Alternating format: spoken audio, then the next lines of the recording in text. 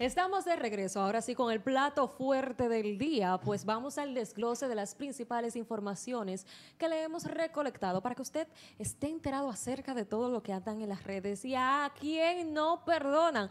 Y por supuesto, yo digo que vaya y se lancen al mar de espaldas para ver si se les va esa sal que últimamente tiene, porque no sale de la boca de nadie y de manera negativa, porque antes se hablaba mucho de este artista, porque no estaba en, vamos a decir, en una polémica así tan fuerte que si se hablaba algo negativo, era leve en comparación a que ni muy bien sale de una polémica ahora mismo, entra en otra de una vez, no le da tregua. Y muchos dicen que al parecer una colaboración le trajo la sal a su carrera.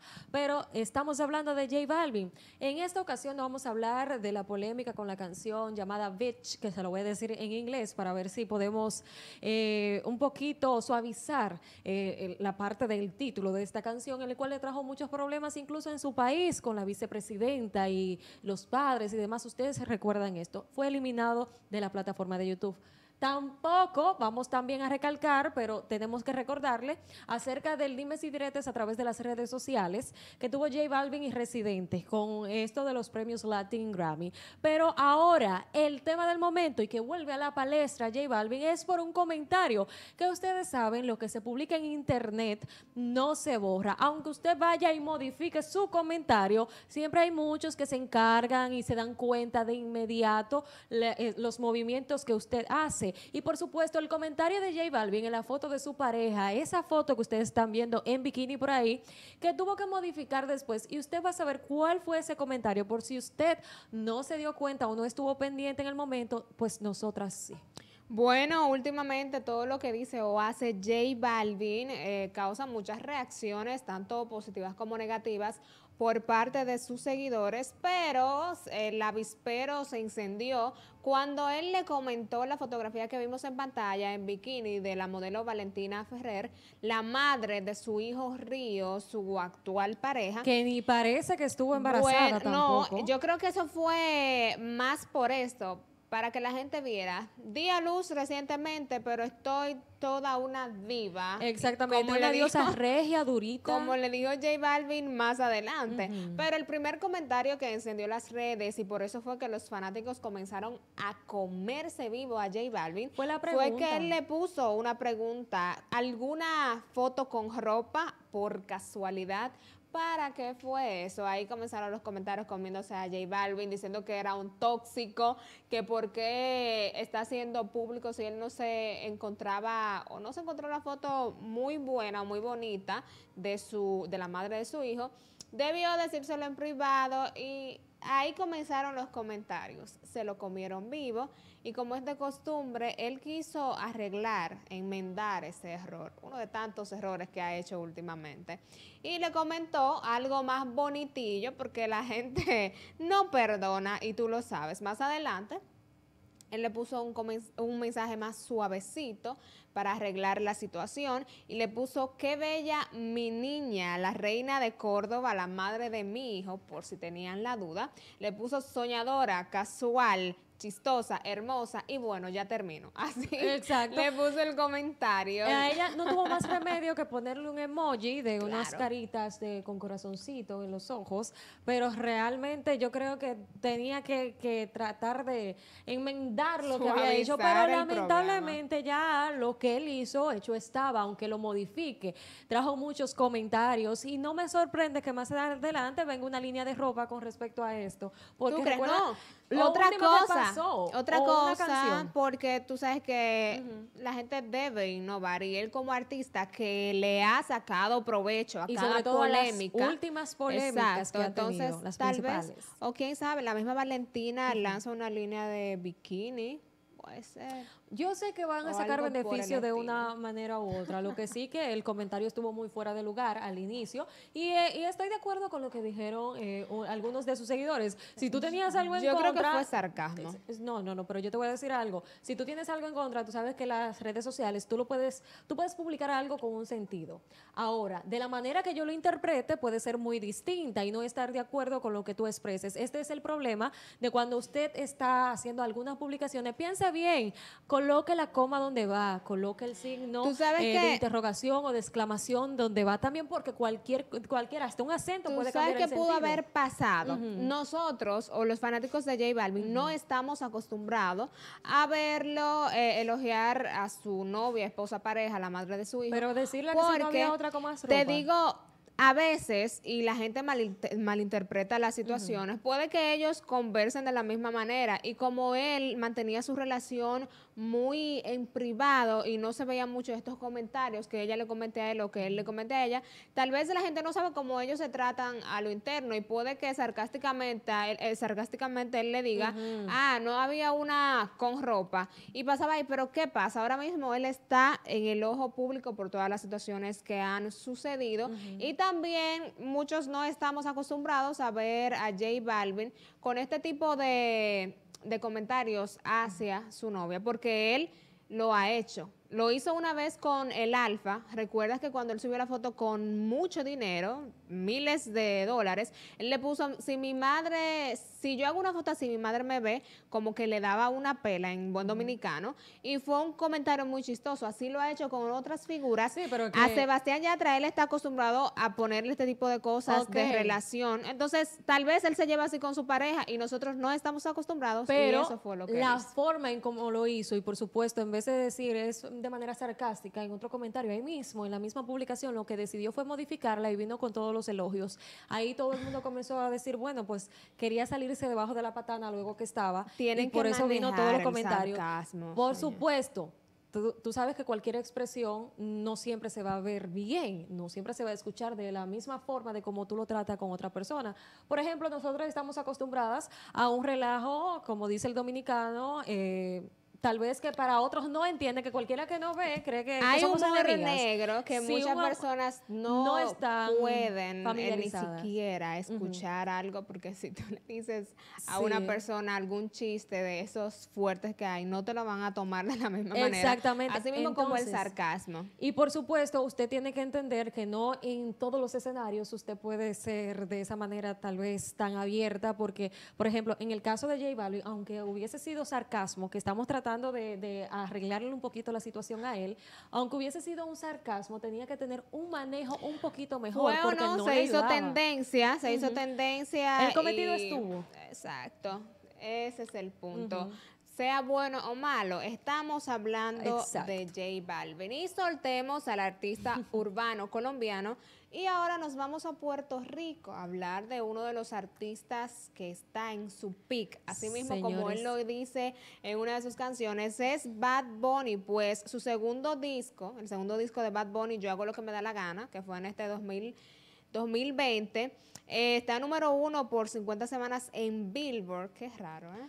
Qué extraño, pero de verdad que Bad Bunny sigue dando cátedra después de, de este tiempo tan difícil que vivimos en una temporada con la pandemia. Recuerden que teníamos un encierro, estábamos cohibidos a nuestra libertad, por supuesto, tratando de cuidar nuestra propia salud y la de nuestros familiares, pero él sigue dando cátedra porque no mm, le demostró a todos los artistas que ese era el momento que se tenía que hacer lo que muchos no estaban haciendo, que era producir. Muchos de los artistas también gozan de un estudio de grabación en sus casas o la inspiración del momento con todo el tiempo libre para poder despejar la mente de todo lo negativo que estaba pasando hasta el momento.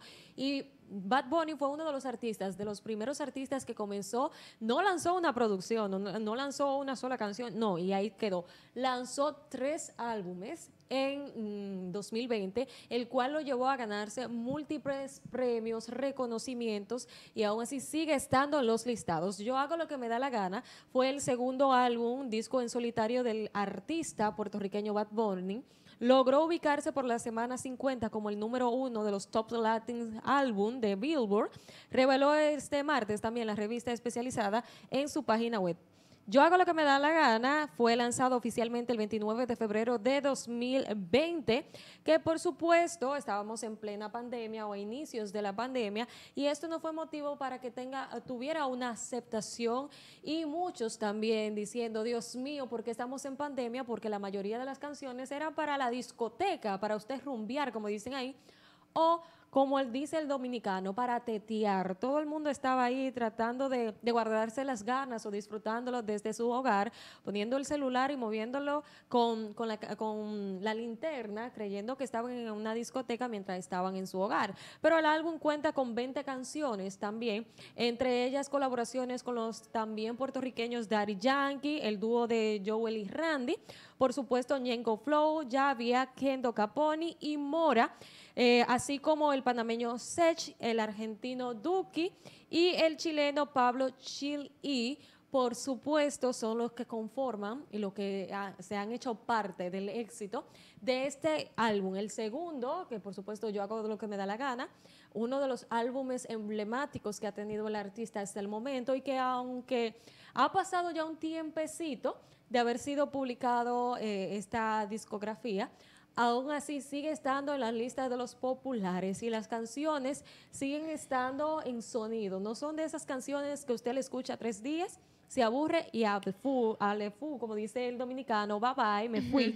no es así. Sigue teniendo reproducciones y lo está demostrando los principales listados. Y sigue ganándose los premios que en este 2021 se han podido realizar de manera presencial y también los que se realizaron de manera semipresencial.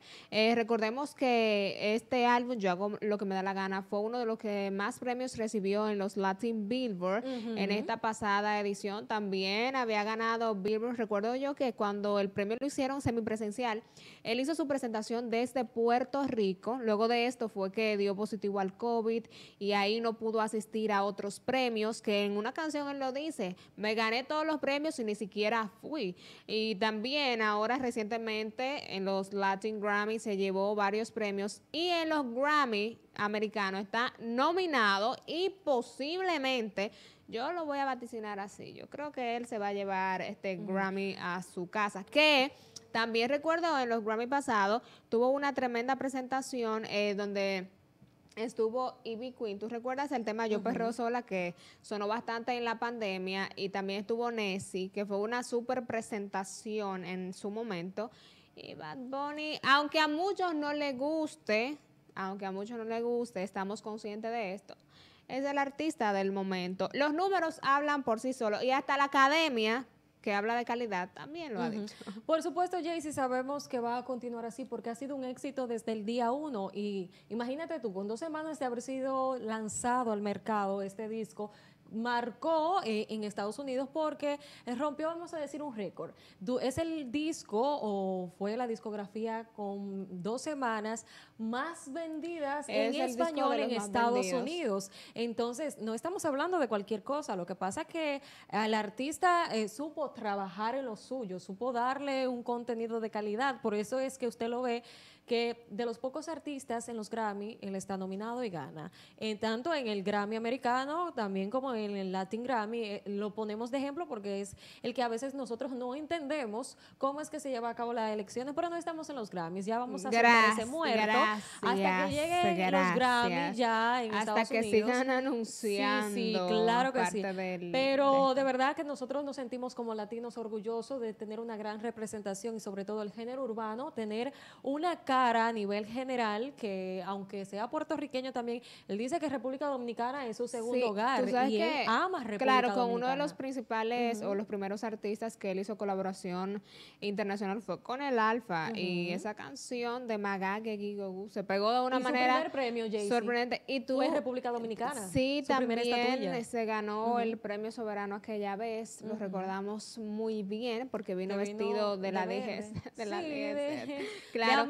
Y tú sabes que yo hago lo que me da la gana. Eh, yo creo que va a llegar más lejos de ahí, porque también la canción Zafaera, que es con Joel y Randy, que está en el listado de las 500 mejores canciones de la historia, está por el 300 y pico, pero siendo tan reciente, sorprendió a muchos que estuviera en este listado.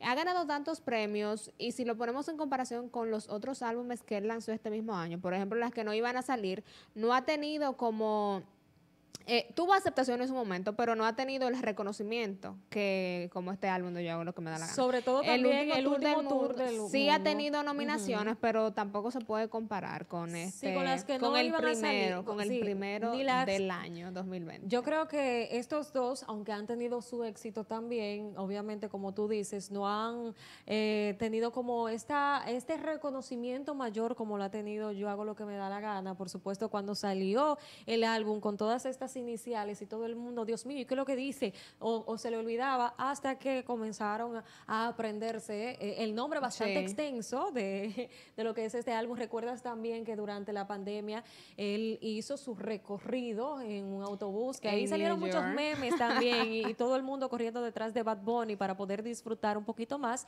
de esta de este recorrido a través de las calles en Nueva Y York. si tú te das Y- cuenta del gran impacto, del gran impacto que tuvo Ujú. en su último álbum, que fue este de las que no iban a salir, la mayoría de las canciones que no tienen video, él está en este, en esta patana, en este camión con las iniciales de yo hago lo que me da la gana. Yo diría que eso fue como la continuación de Sí, este como álbum. esto continuará pendiente a, a la segunda, la tercera y toda- todas las eh, réplicas que vienen después o las ediciones. Por supuesto, seguirle deseándole, mm, ah, bueno, deseando más éxito a Bad Bunny en su carrera, por supuesto, eh, un artista multifacético que no solamente es artista, compositor, es productor, es actor, es todo lo que usted se puede imaginar y más. Luchador, así, ha, ha hecho de todo y es bueno, ha demostrado su versatilidad. Pero Jay, si tengo que dar una súper recomendación y es que si usted quiere cualquier artículo para su vehículo, su cita es con Génere Autocentro.